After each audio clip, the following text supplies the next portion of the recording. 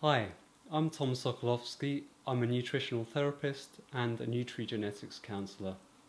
I'd like to tell you today about 10 ways in which stress affects your gut.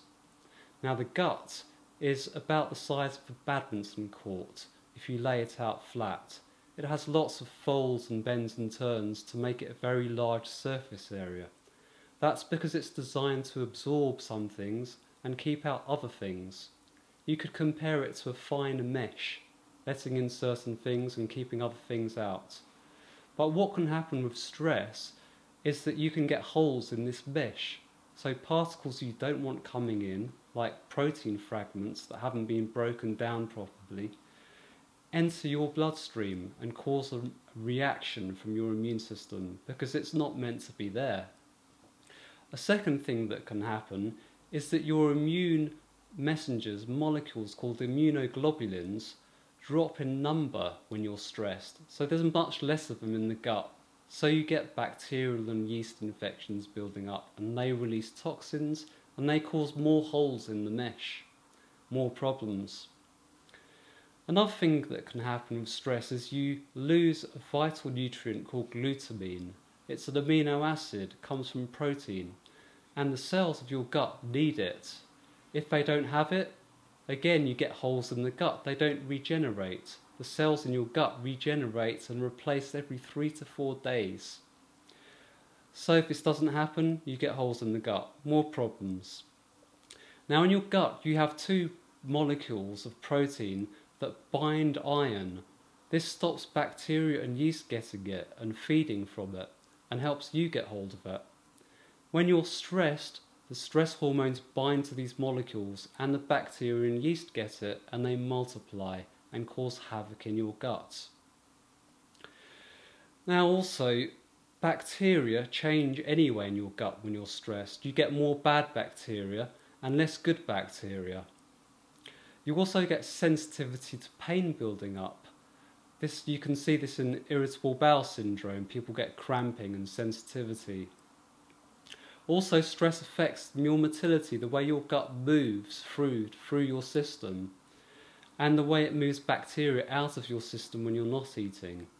Stress slows all this down because it's controlled by neurotransmitters, the same neurotransmitters in the brain you may have heard of serotonin, the happy neurotransmitter, dopamine, which is about reward and pleasure, 90% or maybe 95% of serotonin is actually created in your gut.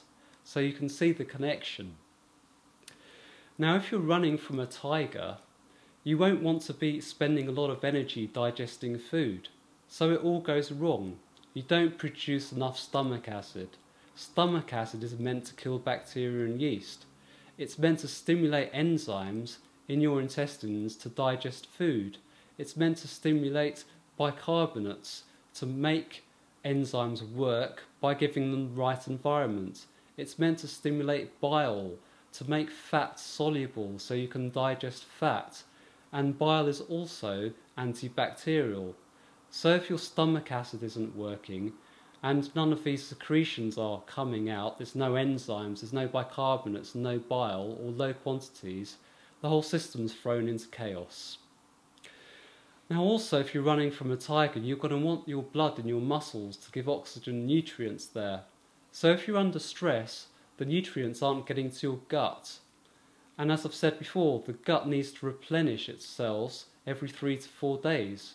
If they aren't, you get holes in that sieve again that cause a lot of problems, as I've already described.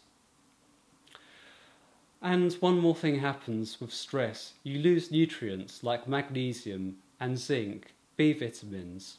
Zinc is very important for healing the gut, for repairing it, and keeping it whole, keeping these holes away, so it's all working fine. So to summarise, 10 points, 10 ways in which the gut is affected by stress. One, the stress hormones directly create holes in your gut, leaky guts. Two, your immunoglobulins, your first line of immune defence in your gut, decrease in number massively. Three, you lose glutamine, the main fuel for the cells in your guts.